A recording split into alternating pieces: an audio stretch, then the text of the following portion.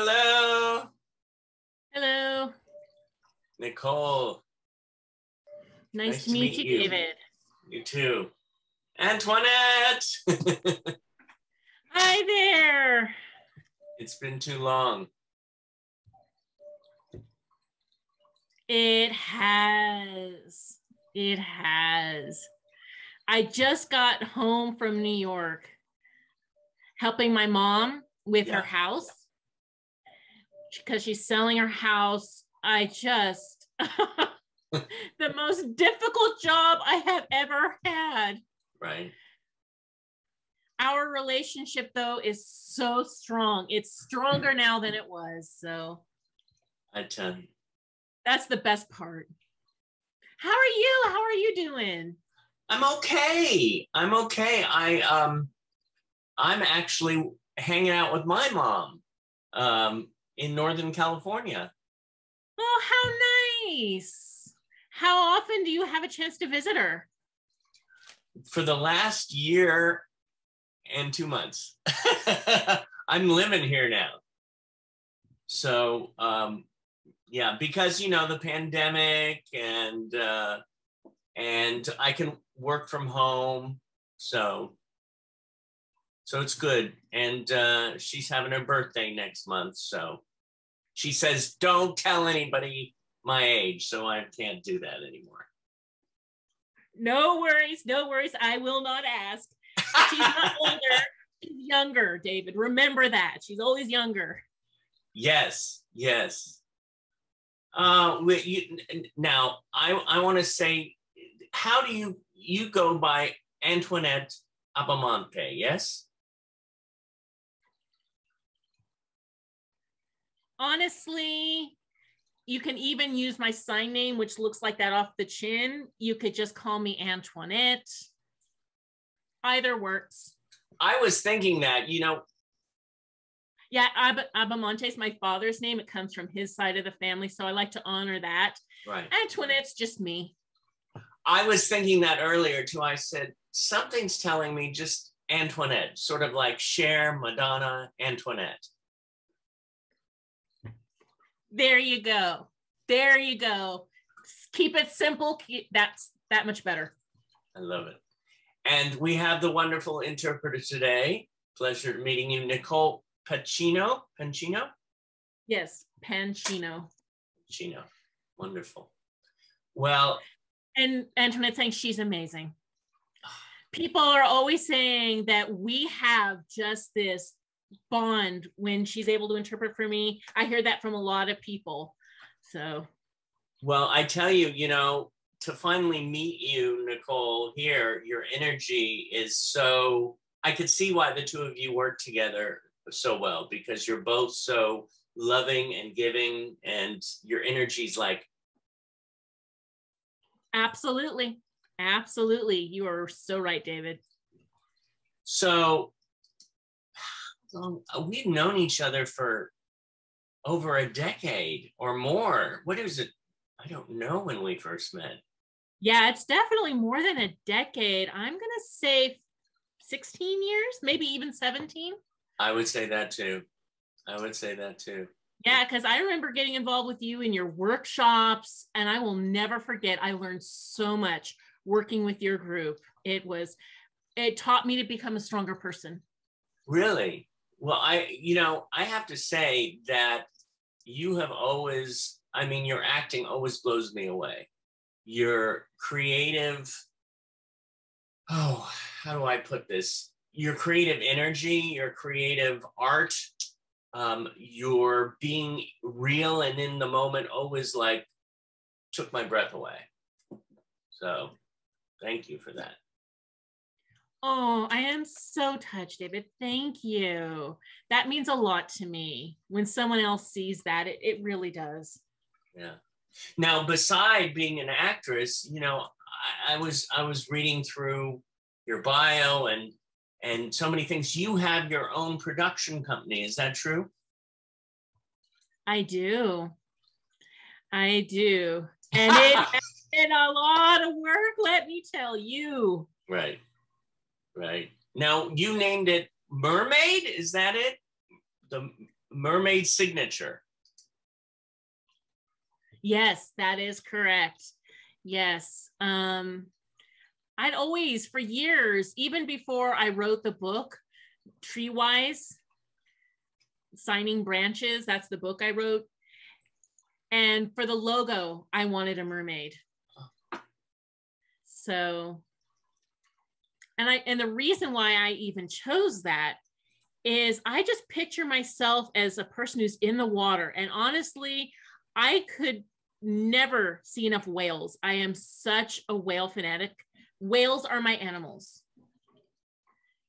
And so to keep the earth communicating from top to bottom, that whole idea, that mentality, I, I'm so entranced by it. It is so powerful.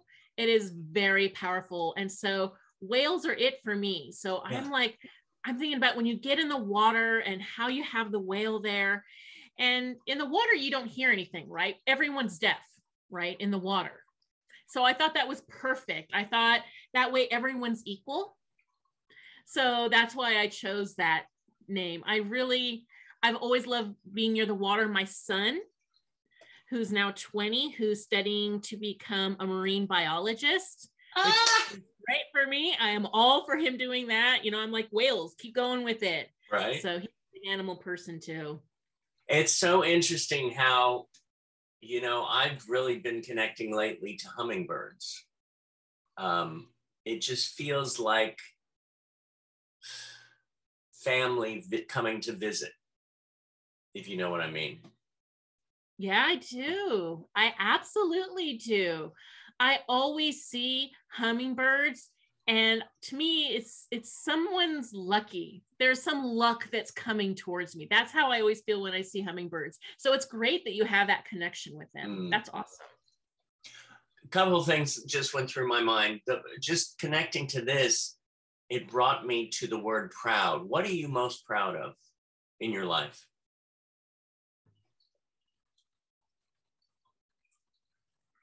Oh, wow. Being a wonderful daughter, being a good person, being a heartfelt person, being a wonderful mom for my kids, a partner. I just want to be a good person. That's what I want. It's very simple, I will admit, but that's what I want. I tell you, it's it, we need more of that in this world. I, you know, with all the craziness going on, the more of us who are about the heart, about love, um, that's that's what counts. Maybe that's why we all connect so well. Absolutely, I think so. I could not agree more. It's we need more people like this in the world. Absolutely. I very much believe that when I'm a good person, good people will be attracted to me, like you and like Nicole. Good people will come if you are a good person. Yeah, it's so true. It's so true. Now, you mentioned uh, just a couple minutes ago about your book. Um, now, you've written several books, correct? Well, I wrote three books so far. One that's still on my shelf, gathering dust at the moment, but two that have been published. The first is Tree Wise Signing Branches. And that one was really written for my son when I was having that relationship with my son when he was four. And he's hearing, but I come from a family where everyone was deaf. I later married a hearing man so I call them hearing people, right? And so I was used to my life as a person in a deaf family to be a deaf person in a hearing family. That was a whole new experience for me. And I would see my son when he was four years old, and I sent him to preschool. I saw him communicating with other people, but whenever he looked at me, he'd use sign language. He wouldn't talk at all. And other people, other children, even adults, teachers, parents would always look at us. And but he felt, huh, look at this, there's a difference. So people started asking him, hey, is your mom deaf? When I wasn't there. And so I went, oh, okay, this is something that's happening. So there was one day I was just sitting in my office And my son came up to me and he goes, Mom, why is it that you and I are different than all those other parents and kids? Why are you different? What's your mom? You're not like the other moms out there. And I just about swallowed my heart. And I said, you know what? And I, I'll never forget this. I said, I love you no matter what. And I grabbed him and held him so tightly. And while I'm thinking about this, and I, I had a tear going down my cheek, I'm like, what do I do? Do I get angry? And I said, you know what, Antoinette, what's really important is that you're here in the moment, hugging your son. And I thought, how can I teach others? You know what? I can write a book.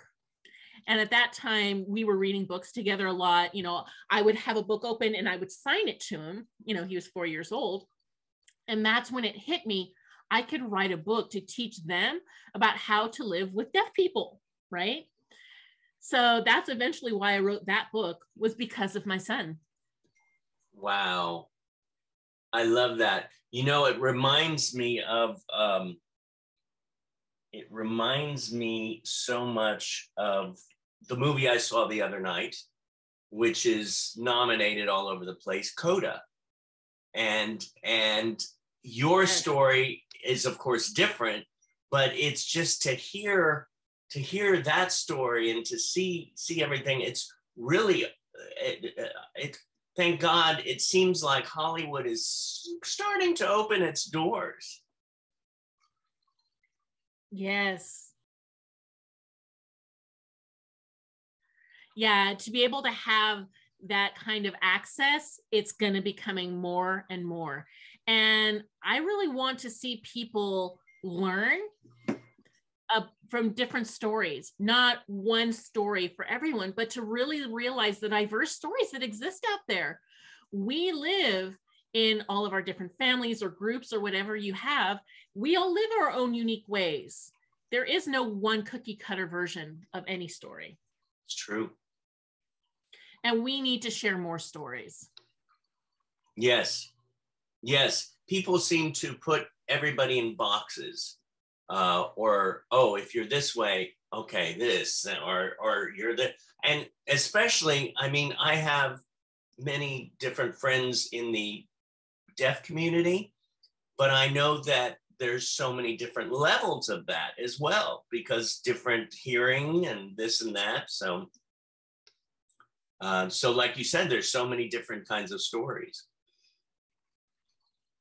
You're absolutely right. There are some people that come from deaf families. There's some people who are the only deaf person in a hearing family, and those lived experiences can be very different. For me, I had deaf parents, so I could see what it meant to be a deaf person from the word go, right? Mm-hmm. I developed that identity. For those people who are born into hearing families, they go, huh, I'm different than everyone else in my family. So that's what I applied to my kids when I was working with them. And I'm like, oh, they're hearing, they're very different than the experiences I had as a deaf child. I mean, I love both, of course, though. Yeah. Yeah. So uh, now I'm I'm fascinated. You you said you have you have three books, but one's on the shelf. What's the other book?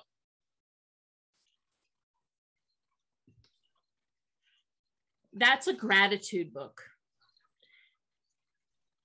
Yes, it's I'm trying to think of how to say this.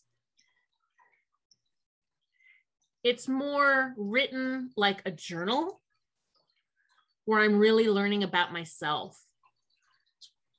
So many things that happened in my life, so many obstacles that I've had to overcome. And so that's an example, and it's done in sign. I actually hired an illustrator who's also deaf who was able to do the drawings of me signing for that book. And the very last page, I think maybe the last two or three pages, that's for the reader to write about themselves, about what they've learned from the book, what they've learned about themselves. And it's about overcoming fear. I mean, how to eat, the best food, how to live while so much chaos exists around us, how to survive and navigate the world. It's about all of those. It's really about gratitude, being thankful for what we have, and just live as simple as you can. That's the point. And I have to tell you, that was honestly for me, it was a learning process for me at while I was writing that. And I wanted other people to have that same experience. And it worked. It worked for me. It was fantastic. And so when I wrote that, you know, I wanted to share it with the world. Oh my gosh. Uh, it, it's so perfect to come from yourself and and have people connect that way. Is it called gratitude? What is the title of it?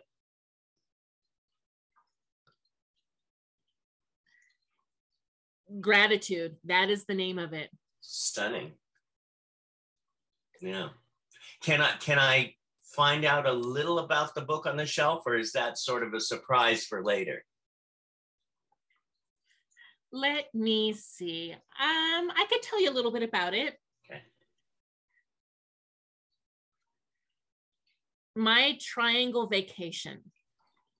And the reason I say that is I married my husband Scott, and he had two children from a previous marriage. Mm-hmm.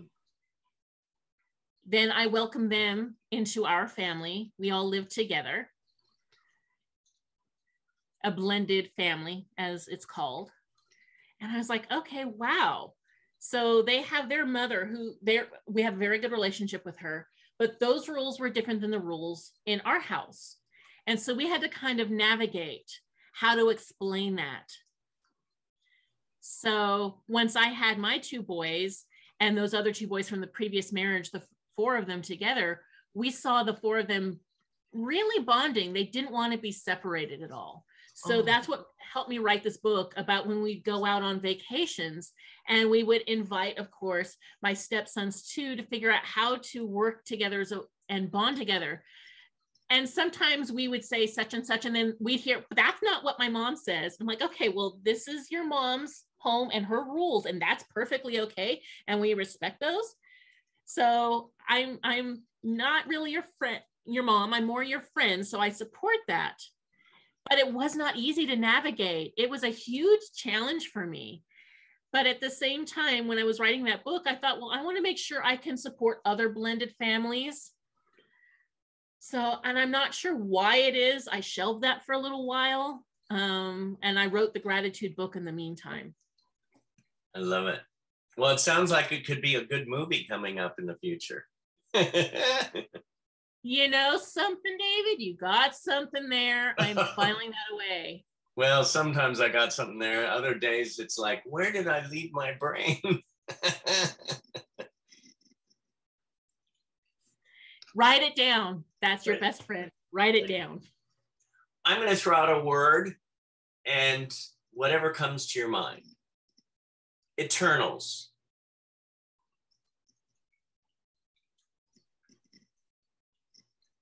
Yeah. Um I worked with the family and I felt like I really brought my whole self, my personal culture, my deaf culture. I brought all of that to this family and gave them some ideas of how you could see a deaf person leading like myself. I felt like, you know, I'm a leader in both worlds, both the deaf world and the hearing world, wherever. That's just kind of who I am. That's my personality. Yeah. So I shared a lot. And I was so happy to see the story that came out I am so glad that they were able to cast another deaf actress that was phenomenal. I'm very happy that all that happened. I am not in any way against that, but I do feel like they didn't really see me as an important person as well. It never really giving me the credit or paid me more to really honor and recognize my idea of showing the world that I am important too. That's the one thing that I still feel a little bit, but I know my next movie I can bring everything to. And I've learned not to share a lot of information. I that was a lesson that I learned from that experience. So I decided to go, I'm not going to perseverate on the negative. I'm going to look at the positive. I'm going to be a professional. I'm going to wait until everything's ready to go before I share any information about it. And that would be your advice to the writers, the students, the creators out there. Don't share too much your ideas because others can possibly take them. Exactly. And negotiate. Make sure that is on the table before you share any story ideas. Negotiate if another person wants something, you need to have their name on a piece of paper that they've signed so that you do get credit at the same time. So everything needs to be on the table. Right. Everything in writing too. I heard a lot of people do it verbally, and that doesn't necessarily count. Yeah, no. You have to have an attorney to work with you. I had to do that myself. I had to hire an attorney, which, yeah, I, everything is about money too. And I have saved money for that specifically. And then when we had investors come on board who believed in us, that was the support we needed. Mm. It was a blessing for us. It really was. So tell me about since August. Yes. Yeah. Very profound story, a very heavy story. I tend to be attracted to those heavy stories. I find them fascinating. Yeah. It's about life. And that story is about forgiveness and how to forgive. Something happens to my character and the character's son. Mm. But at the same time, the character learns so much more about themselves, about forgiving, how to process pain. It's really it's an onion with those multiple layers and the more you go down the more you find to you really find your core of yourself. And you realize whatever you see around you it still comes back to being about you. That story has taught me about what you need to value life and what it means to value life. And I hope anybody who watches that movie learns that same lesson for themselves to forgive.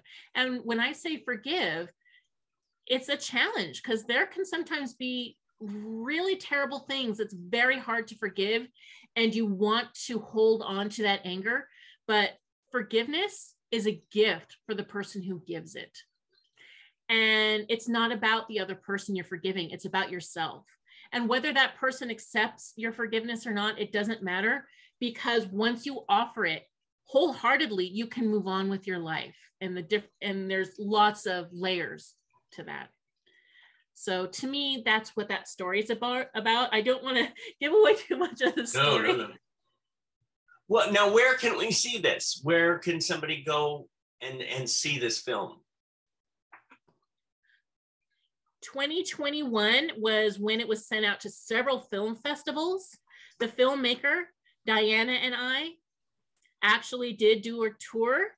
We met several people. Wonderful experience for us. Absolutely phenomenal. Um, now, Diane and I are, have, are talking. We know that there is one buyer who's interested, but we haven't, we've decided not to work with that buyer. We'd rather wait yeah. So currently we do have a few people who are interested in buying the film. So we'll kind of have to see how it goes, but we definitely have our fingers crossed. But it will be out there sooner than later, we hope. Good, good. I'm I look forward to seeing it. I look forward to seeing it. Um, I know you won some awards on that too. I did. I absolutely did. Best Picture, I know that film won. Yes, in New York at the Winter Awards Festival. That's an international film festival. It was a wonderful experience. And it was so great to be back in New York. Oh, I bet. I miss New York. I miss it. Yeah. Listen, I, you know, I mean, oh, my mom's going to be moving here, so I won't have any place to go back in New York. She is? Well, that'll be great. You'll be close. Yes, that's why I was helping her to sell her house and she's going to be coming here to a new home not not too far from me in fact. So my family, she'll be near the grandchildren. Mm. Mm. I that'll be great. It's nice to have family, especially at this time. It's life has really seemed to change a bit, and we have to find the positive. We have to keep going after that positive. Um, it's it is a new normal, and by the way, that was one of the the, the TV shows that you were in.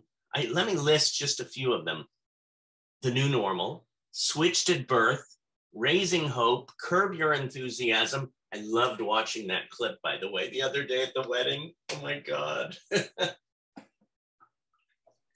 Do you have a certain experience with um, that pops into your mind right now of being on one of those sets that you go, ah, this was, this is why I love acting? Yes, let me think. What comes to mind for those TV shows is how fast paced they are. It is so different than film work. And it's so different from stage work. It's it's its own animal, completely different cultures in any one of those. So TV definitely very fast paced, and we got the script written real fast, and you have to read it really fast, and everything's moving. Yeah. They, we have that cold read, right, that we have to go through. Right. And right. I learned that I really how do I want to say this? I enjoyed being more involved, absolutely. And I felt like I really enjoyed with films, you know, because I I've been to school, I've studied, I've been training for many years. And when it comes to stage and film, there's a similarity that exists between the two of them. Mm-hmm. And I really like it when I have that full meaty script in front of me that's finished that I can really read and I can really get to the bones of it and really develop the characters. And just sometimes I'll read it back to front. I like to have that whole thing to at my disposal to really develop my character. That's my thing. And that's why I tend to drift more towards film work. Mm-hmm. So yeah. Mm-hmm. Not that I didn't enjoy TV. I absolutely enjoyed working TV too. It's just such a different experience. And I learned a lot from when I was working there and, and just how fast paced everything was. So it was interesting to me. I liked it, it was different. But I think if I had to pick one, I like having that full meaty script that's completed that I can really work through. Yeah. And mm-hmm. really develop the characters and really swim in that world. And think about why each line was said. Why is this character saying this? Why did they choose to express themselves that way? What do they want from the other person? Really dig in to the substance of the whole thing, the whole story. That's that's really what I love doing. Mm-hmm. What is your biggest dream in life? Oh. Who? I think when I get an award, maybe, maybe not, but if I were to win an award, I would love to give it to my mom, have my mom come up on stage with me and say, Mom, you are why I am who I am. I'm tearing up just thinking about it. I'd say that's my biggest goal. And the reason I think about my mom like this is she was born and raised in Italy. She had had no schooling because she grew up in a very small town. She became a farmer and she went to a school with hearing students, but she said, I don't like this. It was too frustrating. So my grandparents decided to take her with them and work on the farm. Yeah. And when I look at my mother now, I am so impressed in this woman who never went to school and see how much she has accomplished. She manages everything with me, my brother, my dad. My dad both work uh, making clothes in New York City. And that's why I am so into clothes and materials and fabric and all that. I, I like to know the good quality. I learned that from my parents growing up. And when I look at my mom and see how hard she has worked to take care of a house, we had renters that lived upstairs, tenants who she would make sure she managed everyone. She had wills and lawyers. She managed a household. And she didn't have interpreters back then. She was able to figure out how to do this on her own. Exactly the opposite of what happened in that movie, Coda. Exactly the opposite. And I look at my mom and I just, I am so in awe of her. Seeing my mother as the most intelligent person in the world and to realize she'd had no schooling. She figured out how to come to the United States. She moved here when she was 22 years old. She had me, she had my brother, and she made it work. She knew that school was important. She made sure we went. And I remember asking her why she made us go if she didn't have to go. And she said, No, you have to do it. So one time I went to Coney Island. It was, we live near the near the beach, and she used to take us all the time to Coney Island. And I think I was 11 at the time. And my mom was saying, Come on, let's go swimming. And I kept saying, I don't want to go swimming, mom. I would just want to stand here like you. And my mom said, Oh, no, no, you do not be like me. Let's go together. And I just really fought her. I said, No, you can't swim. So I can't swim either. And my mom grabbed me by the hands and said, Let's go swimming. I learned how to swim from her. She did not know how to swim, David. And I'm like, What's that? But that's her. She taught me anything is possible. You can accomplish anything in the world. And I very much believe that. That's why I am who I am today, why I've created my own business, why I make films. All of that is because of her. She made me do everything. So in my work, I, I've become a supervisor and I've had to work with several people under people, over people. There's so much to manage. And I go, this is what my mom taught me. She taught me do not be afraid of the big world. Do not be afraid of the hearing world. You need a job, Antoinette. That's how you survive. And to learn that from a deaf person who never had a day of schooling, I just, I could not be in more awe of her. Several things came to my mind. Number one, I'm watching you and I'm just like entranced by you. And I was thinking, when are you writing a one woman show? I mean, when are you going to have a one? I'm just like, I could just sit here and take you in. Have you thought of doing that? Have you done that? I've thought about it. I've thought about it. I have one, um, but I decided not to do it. Right. You know, okay. I have a script also on the shelf, also gathering dust. I could see if maybe it could come back to life again. We'll see. Yeah, you could add some new stuff to it. Um, the other thing is too, what what sign are you? I know that's like uh, you know, but because I so relate to the love that you have for your mother. Um, I I'm an Aquarius. I'm a Gemini. Oh, okay. Yeah, the twins. I love it. Oh my gosh. So I want to, I, I was again reading more about you. You know, it's interesting. You know somebody maybe for 15 to 20 years, and then you find out you went to ACT and you were what one of you were the first deaf student there, deaf actress?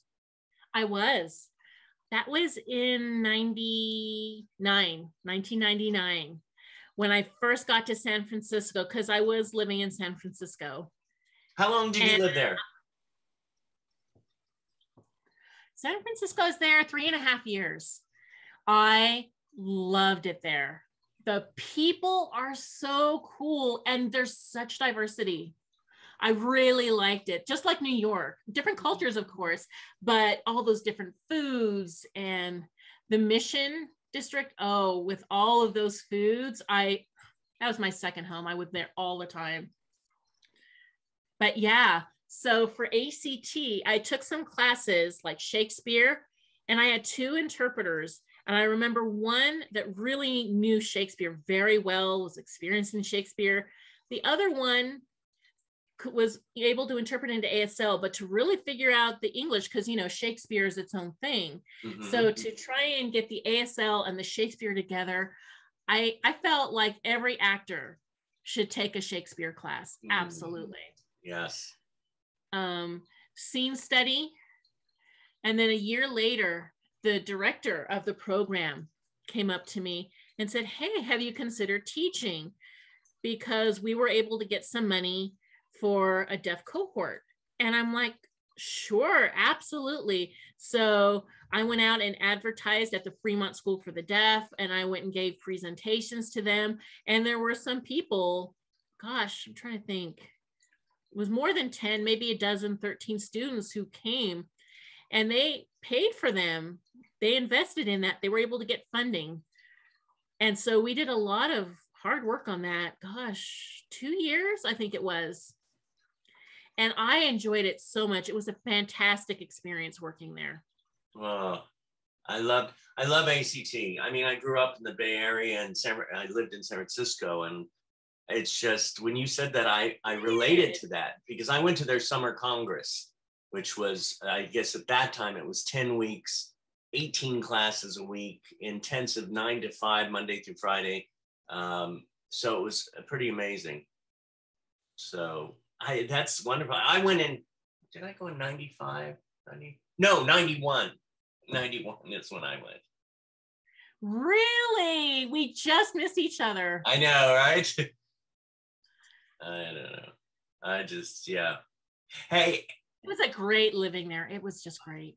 Well, beside, I mean, you're all over the place New York, San Francisco. And I love the Castro. that area was the bomb. It was the best. Play all night. exactly. And the Castro Theater, you know, they were going to shut that down or sell it. Thank God I heard they aren't doing that. So I, let's pray that they don't do that. That's a landmark. How can they, anyway?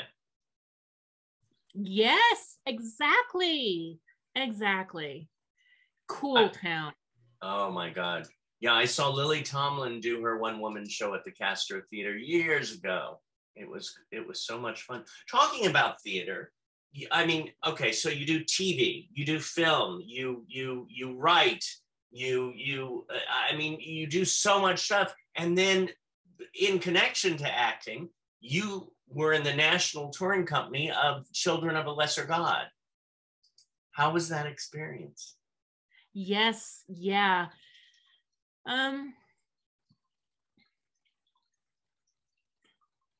it was my first experience being on tour with a group like that. Mm. And it was so cool. I learned so much living with, there was like five of us, I remember, who would rent houses from place to place to place. Sometimes we'd be in hotels. We would have to drive ourselves. And we'd each take a turn make sure that we took turns cleaning. I mean, it was teamwork. We fought, we were close, we bonded, all of these people. And we had two people who were hearing.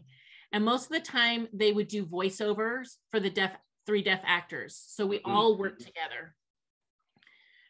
We did a main stage tour.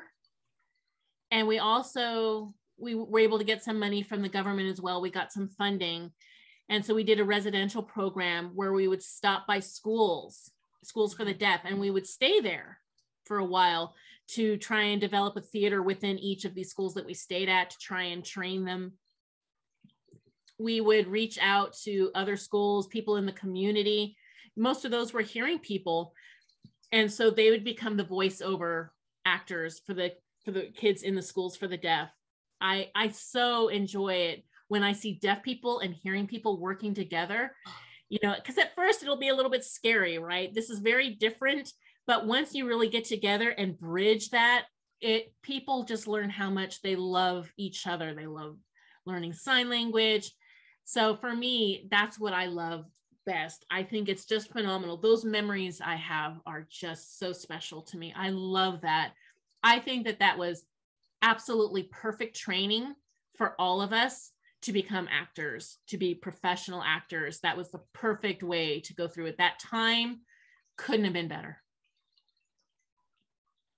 I'm I'm watching you and hearing you, uh, and and taking you in and again i go back to the performance artist that you are you're and the way you write is the way you speak in a way because I, need to continue to learn. I know a few signs in sign language, and I've been talking about it for years, that I have to really study and study and learn this.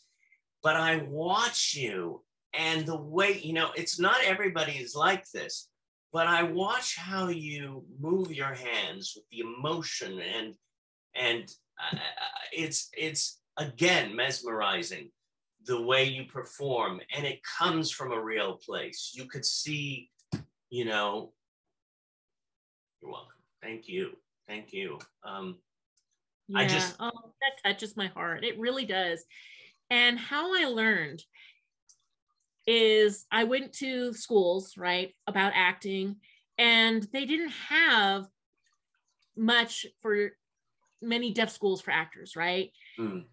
they would have interpreters there. And so what I did is I'm like, okay, so I want to become an actor.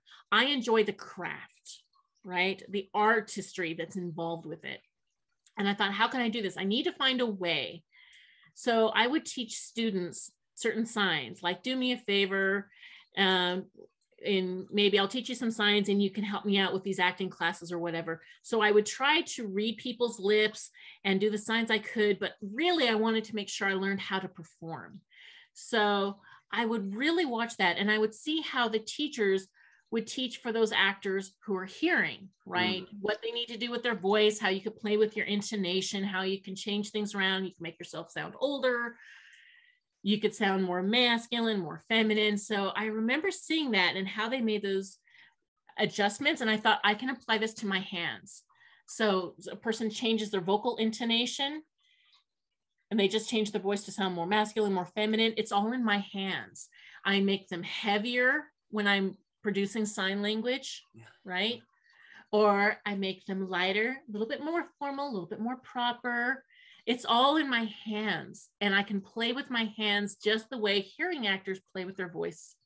That's where I really learned how to delineate and figure out how to really get to the bones of something how you can make that change to make it work for the different characters. And that was just something innate in me that I just found within myself. And just, it's all about getting in there and playing. I'm ready to play. Let's do. Let's oh do. We God. will. You know, you are uh, again. I could add to your list of you know mother, actress. You know, but eh, of course you're a major advocate. You you work with screen actors guild and aftra and women in film. What what was your involvement in in these?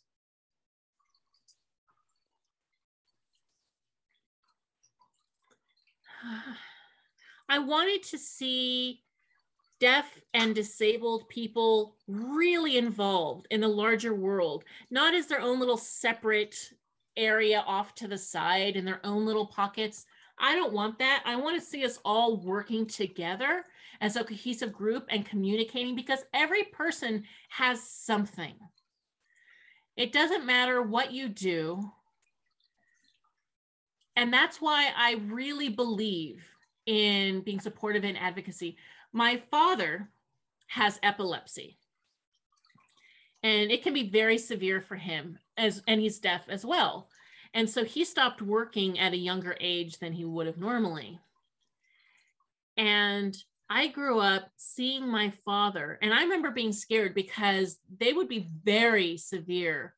It's not like a little minor thing where he'd kind of close his eyes. He would have just a huge seizure things would break around him because his body would move and he would come out of it and he'd be tired and unfamiliar with what had happened. And so as a, as a little girl that scared me growing up. And one day i realized my father had fallen down and i'd gone to the store to get some bread i think some italian bread or something like that. And as i brought it home i saw this huge crowd of people watching my father gathered around him um, because some people come over to visit. And I knew instinctively that that was my dad. And I honestly felt embarrassed that there was just a circle around him watching him. And I thought, okay, I have to do something. And there were a couple of police officers there as well, trying to hold my father as he's writing. And I said, this is the time for me to understand and accept that this is what my father had. So I walked into that circle and I said, everyone, this is my dad. Help me out, right? Don't just stand there staring, right? Because there's my home. My home is right there. So the two police officers were kind of holding on to him, carried him to our house. And I remember when I touched him, I felt like my dad for the first time when he became sick and was having those seizures. I, I swear that just transferred right up my arm and it came from love that idea of acceptance of this is who my dad is. I hadn't done that as a child, you know, and my mom had always been the one to take care of him. She'd say, Oh, go back to your bedroom, Antoinette. And I was happy to do that because I was so intimidated by everything. But in that moment, it really hit me and it opened my mind and it opened my heart Everyone has a life story, every single person. And my father is an amazing person. He is beautiful with sign language. Everything I have in sign language, I learned from him. I just, I love my dad. He passed away 18 years ago now, but I will never, ever forget my father. I'm a daddy's girl. So that's where I learned you have to love everyone no matter what. Everyone is special. Mm. Mm-hmm. What is your biggest victory in life?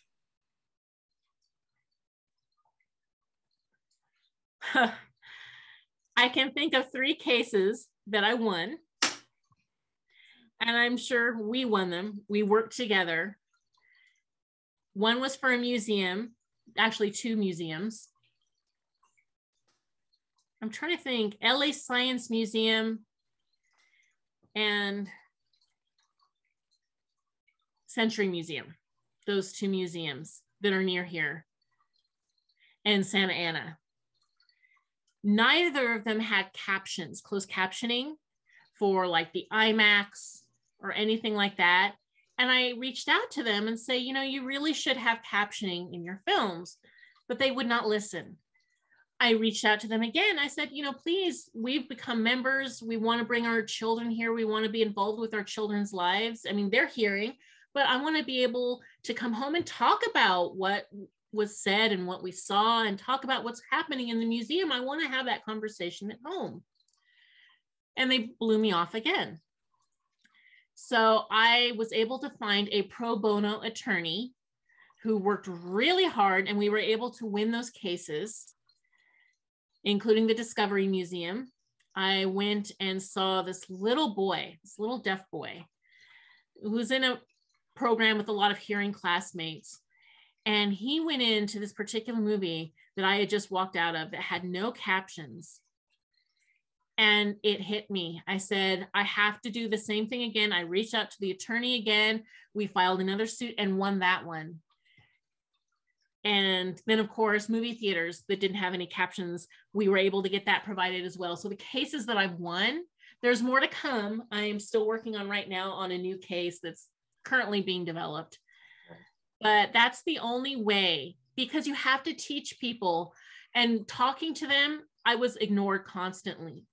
You know, but without that lawsuit to really be the stick that they need to have to really make systemic change. And it takes so much more work. I wish I had more people around me so we could all work together as a team on that. Someday it'll happen. Yeah, yes, it will. Um, oh, by the way, I saw Diana Elizabeth Jordan today and she sends her love. Oh, yes. Oh, please send her love back my love back to her. I haven't seen her for so long. How is she doing? I'm she's sure she's good. doing. She's, uh, she's being honored this this next week herself um, uh, at an event. So it's it's great to see how people that you love and respect in the community, uh, and, and the artist community, the, the the community that that just you know I that that's what I love. I love to see people succeed. Um, Absolutely. would you email me and let me know what's going on with her? Yes, yes. In fact, I'll post on your Facebook too. Yeah, yeah. And in social media, I don't check as much. So yeah, Facebook text me. That would be fantastic. Okay, okay. I have one one final question to ask. What do you want the most at this moment in your life?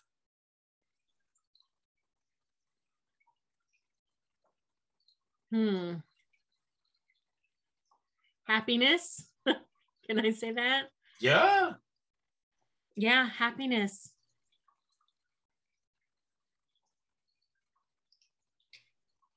That's it. Um, I want to see more success for all of us. It's important to, you know, take it one day at a time, to focus on ourselves, and that just manifests in the rest of the world.